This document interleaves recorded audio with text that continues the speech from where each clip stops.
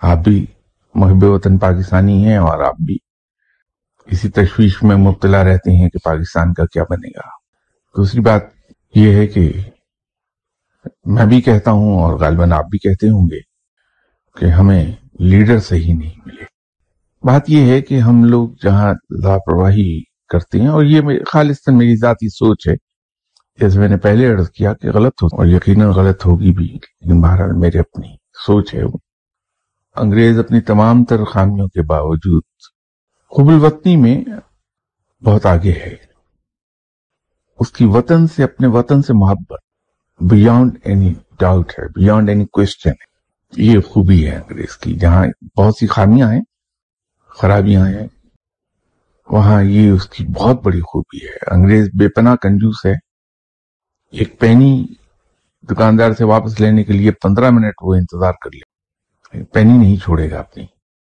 लेकिन यही कंजूस अंग्रेज़ को अगर टीवी पर एक अपील नज़र आ जाए कि मुल्क के फला काम के लिए शाम तक एक बिलियन पाउंड चाहिए तो यकीन कीजिए कि शाम होने से पहले पहले वहाँ एक बिलियन तो क्या कई बिलियन पाउंड इकट्ठे हो गए होंगे। बेदरेग वो अतियात दे देंगे मुल्क के लिए।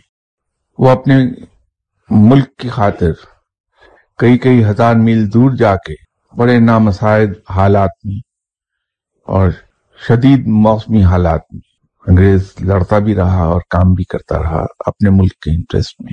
अंग्रेज़ भी हम जैसा इंसान है। हमारी ही तरह दो हाथ हैं, दो पाँव हैं, दो आँखें हैं, एक दिमाग अल्लाह ने अता किया है। हमारी तरह का है। बल्कि मैं तो ये कहूँगा कि कई मामलात में हम उससे आगे हैं। हमारे लोग ज़्यादा जहीन हैं और हम लोग मेहनत कर लेते हैं। लेकिन उसके बावजूद अंग्रेज़ ने आधी से ज़्यादा दुनिया पर हुकूमत की है और जब उसका अरूज जवाल में तब्दील हो गया तो इस जवाल को भी उसने इस तरह से प्रोजेक्शन किया है। इसी की है कि वो इतना जवाल को चले जाने के बावजूद अब भी अपनी पोजीशन एक हद तक कायम रखे हुए है। दुनिया की चौधराहट में उसका रोल ज़रूर है। मैं तो अक्सर उसकी स्टडी करता रहा कि क्या चीज़ इसको इस तरह कायम रखे हुए है। जिस नतीजे पे मैं पहुँचा, वो ये है कि ये इस हुब्बुल वतनी की बुनियादें केजी क्लास से ही डाल देता है।